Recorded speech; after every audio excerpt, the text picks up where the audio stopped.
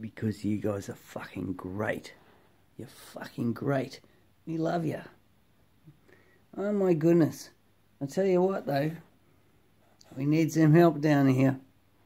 We need some help. Text message me.